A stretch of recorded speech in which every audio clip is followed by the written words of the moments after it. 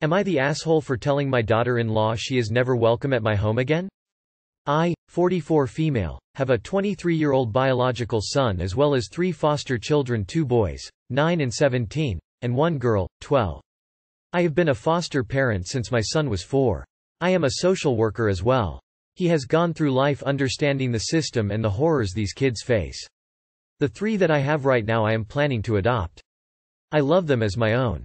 The last two Christmas I have not had my biological son, Tyler, home. He has spent them with his girlfriend and wife now of eight months family. I have always respected it. She is much less independent than Tyler and her family suffered the loss of a grandfather so they wanted her there for the holidays.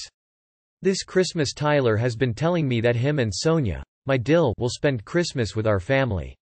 Well the day before yesterday Tyler told me he feels like he owes a debt to Sonia's family for the extravagant wedding gift they gave them and he felt pressured to spend another holiday with them. I didn't believe him. I know when my son is lying. After pressing for about 15 minutes he revealed to me that Sonia felt uncomfortable spending Christmas at our home because it did not feel genuine. She says that my foster children are not real family so it takes away from the spirit of the holiday. I would never let anyone be so disrespectful to Tyler so why would I let this fly with my other children? I told him fine but if she don't feel comfortable at Christmas then I don't ever feel comfortable with her around my kids, and she cannot step foot in this house again. I have always treated her with kindness and respect. I love her because she loves my son and he loves her, but I will not let anyone exclude my children. My husband believes I am going to cause a wedge between us and our son, but right now I am so so disappointed in him.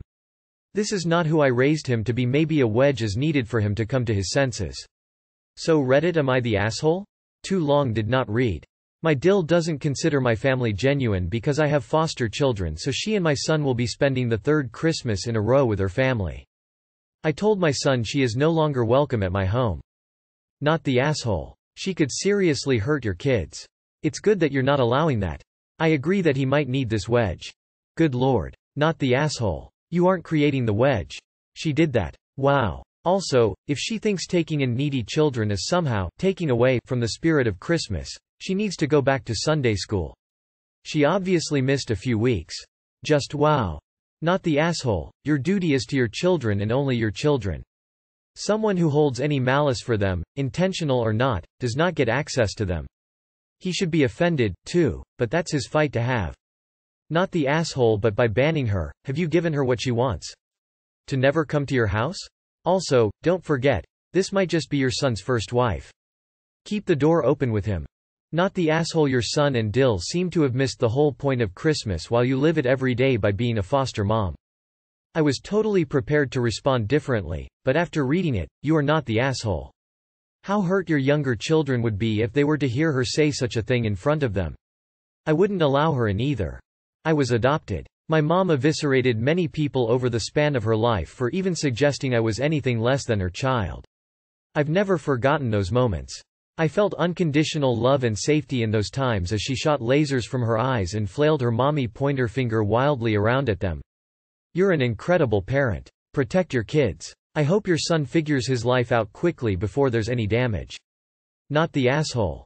Not the asshole. If your son had been adopted instead of biologically yours, would she still say it wasn't genuine? Am I the asshole for telling my daughter and grandkids to leave the night before Christmas Eve? My eldest daughter has had a very snotty attitude towards me ever since she had her first child, just over 10 years ago. She was convinced from the start she knows exactly what she's doing, and needs no help. I learned quickly to keep unsolicited commentary to myself. Except to me, it's a different story when they're under my roof. I don't think the rules should have to change to accommodate her and the grandkids. For example, this is the same house my kids grew up in. I've had the same rule since before they were all born, no shoes on the carpet. And yet, my daughter tells her children, right in front of me as I'm encouraging them to take their shoes off, to ignore me and go ahead inside. I put my arm out to stop one of the grandkids and said no, that's not how we're doing this. My daughter dramatically huffed and puffed but finally went along with it. Until the next day. We have a good amount of snow on the ground here so of course the kids went out to enjoy that. So imagine my shock when I hear the front door and find my eldest grandchild, 10 years old, on the couch with his snowy, muddy, dripping boots and muddy prints all across the carpet. I was significant other angry. Is he not old enough to know better? I told him to go back out right now and take them off and then he can help me clean the prints. He actually apologized and was agreeable, but then his mom came in while we were cleaning and got mad. Her child had no business scrubbing floors and, handling cleaning products, it was spot remover and he had gloves. I told her she had made it acceptable for him to disrespect my rules and this was the result. She mumbled something under her breath and left. The last straw came last night. We were all watching a movie together when the eight-year-old went to the bathroom and about 30 minutes later, I realized he hadn't returned. I went to check on him and found he had ruined half of our Christmas Eve dinner that I had prepared in advance. He says he'd accidentally dropped the stuffing, which he'd poorly cleaned up, half was on the floor and half was in the trash can, and then his snack consisted of most of the mac and cheese and yams. We just had dinner three hours ago. I was so upset I was almost in tears. I just sent him to the guest room he's staying in and told my daughter to look at what he did. What did she take away from it? That I sent him to his room. She, as always, reminded me that I'm not his parent and have no right to tell him what to do. I said someone needed to because he just single-handedly ruined our holiday dinner and it was ridiculous. She snapped and told me I'm an old hag trying to stay relevant. I refused to tolerate any more disrespect and told her to leave, so she and the kids packed up, 8 o'clock at night, and left. Now here we are, Christmas Eve morning in an empty house. My husband is angry with me for causing them to leave and says it's just a few days, I should have let it go. Is he right? I do wish the kids were still here. Not the asshole such disrespect for basic house rules. I would never dream of putting my mother in the same situation as you were exposed to. Instead of bend to your rules, she preferred to leave, so it's on her and her awful attitude. Honestly, you deserve better. I suspect husband just doesn't understand the amount of strain that kind of behavior causes. Not the asshole should get a hotel and let your asshole husband handle all that shit by himself. He's getting off easy pretending he was willing to deal with the bullshit. You'll come back when the house is spotless again. From your first paragraph, op, I was ready to say you're an asshole. But this is not about you interfering with your daughter's parenting. The rules you are talking about are actually just basic common sense and respect for others. There has to be more to this story though. Your daughter is a huge asshole and sounds like she is damaging her kids. Only you might have some insight on why she is like this. Not the asshole in this specific instance. Consider visiting them in their home. I wonder if your daughter lets them sit on her couch with muddy wet boots? Not the asshole. Your daughter sounds aggressive AF. It sucks that you can't spend the time with your gran, but it sounds like your daughter isn't necessarily interested in fostering that relationship anyway. And it's also sucky that your husband just thinks you should suck up, being called horrible names for no reason. I'm very sorry. Not the asshole. I want your daughter out of your house too. Not the asshole. She is being so disrespectful you. You deserve better than this. Let your husband go spend Christmas with her and her crappy parenting, and you go check yourself into a spa. I hope your Christmas gets better yellow heart. Not the asshole sorry your daughter treats you like this. My family, two adults two kids, have nowhere to go for the holidays and it kills me when people who do have loving family ruin it like this. Heartbreak. Not the asshole. I've spent eight hours cooking a Christmas meal for three. You spent that much time prepping your meal for double that only for a grandchild to ruin it and then you take the blame? Nope, not how it works. It may be time to cut ties with that part of the family and I agree with the comment above. Get a hotel on your husband's dime and come back when the house is spotless. Am I the asshole for telling my kids there won't be a family Christmas after this year? Throwaway account. Some background info. I, 50F, have two adult kids Mike, 30, and Marie, 29, and both are married. The last five or so years we have had to have a split Christmas where one kid and spouse will come over one day and the other another day. This is just how it's worked out between their work schedules and their spouse family Christmas gatherings. Now onto the issue. I texted them both yesterday asking if they can still come over Christmas Eve. Mike said yes but Marie wasn't aware that I was planning a gathering then and said she couldn't come due to work and her husband's family gathering. We can't all do Christmas Day either because Mike and his wife are having her family over for a gathering. So I asked if Sunday would work and Marie said yes but Mike said no unless it was later in the evening since he has to work. I was over trying to beg for a bit of family time so I just texted both of them and said I'd leave their presents on their porches since there's no time for our family anyway and it seems to them that our family doesn't matter. only their spouses' families. They both tried calling and texting me but I ignored them. Later on my husband convinced me to do Sunday after 3. I told the kids this but said that since they don't care about our family anymore this will be the last family Christmas for good. I'm not dealing with my family being forgotten by my kids. Marie then told me stop being such an asshole and to stop acting like a martyr.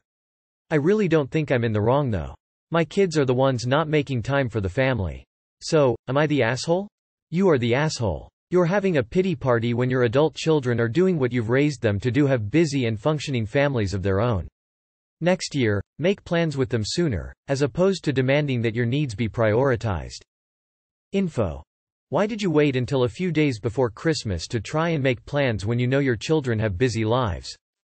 You are the asshole this sounds like last-minute planning, poor communication on your part. If you want to have both your children and their partners and kids over on a specific day, Tell them about in advance it's not as if they said they don't want to come over they either have other plans or are working.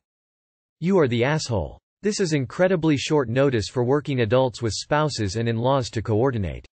If you want both your children's families to visit at the same time you need to give them more than two four days notice. The holidays are busy and important for everyone, not just you.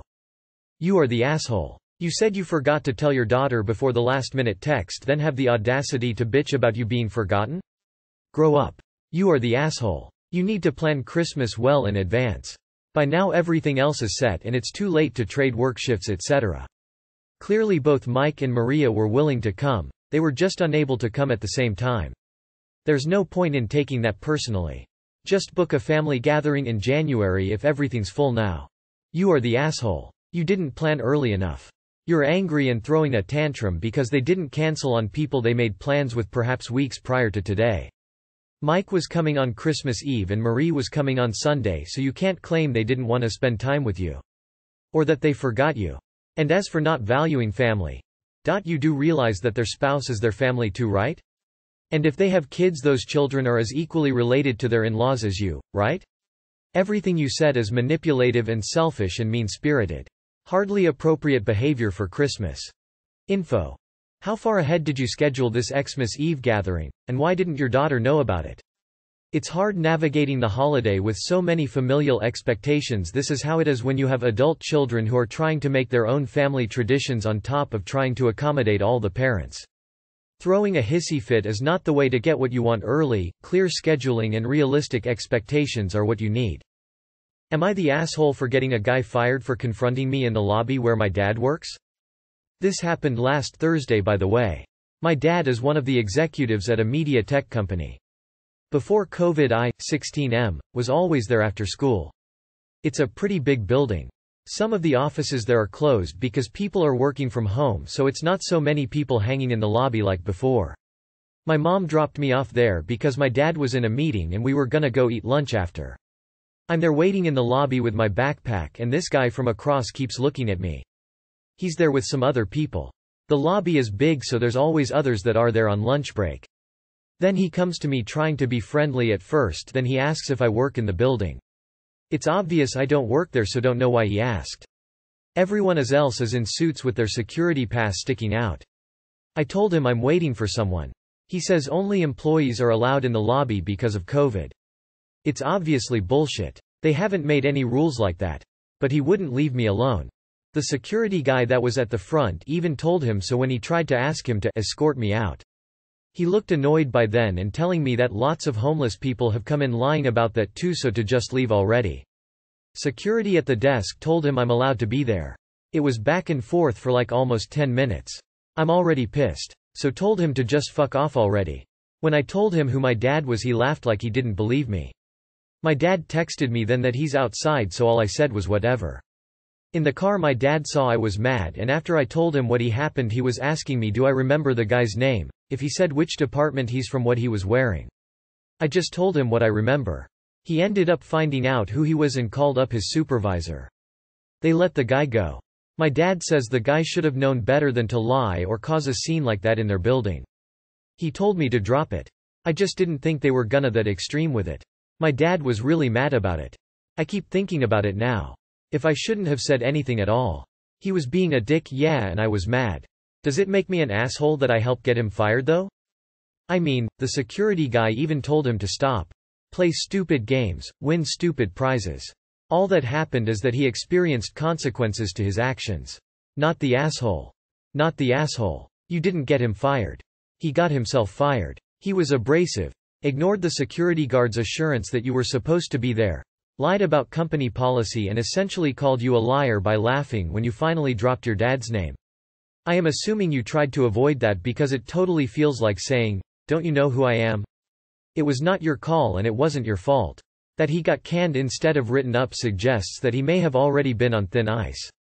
Not the asshole you didn't get that guy fired, he got himself fired. That was likely the last straw for the company. The dude wasn't security. His job wasn't to secure the building. He chose to make a scene. Not the asshole. It's his own fault. If it wasn't you it would have been someone else. No, you're not an asshole. The guy acted like he owned the building. You're definitely not in the wrong. If he treated you that way, I couldn't imagine how he treated his coworkers. That was cool of your dad to handle that. I'm glad you opened up to him, you gotta let him know that stuff. Don't feel like you have to shut your voice down for other people's problems. You did the right thing. I hope that doesn't happen to you again. Not the asshole. The dude was harassing someone for no reason and faced consequences for his own actions.